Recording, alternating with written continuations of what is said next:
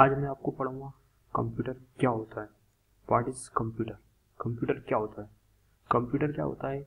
Computer किस form में काम करता है? वो मैं सबको बताऊँगा।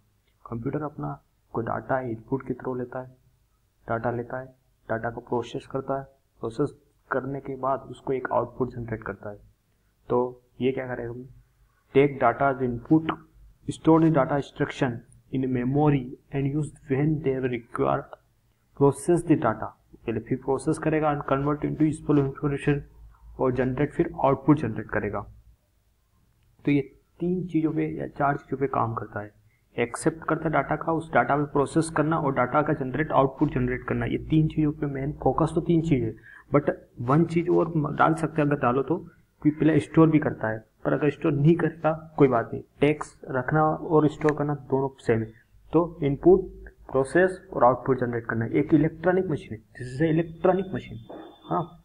Convert data from input to output generate करती है okay that's this is a computer okay तो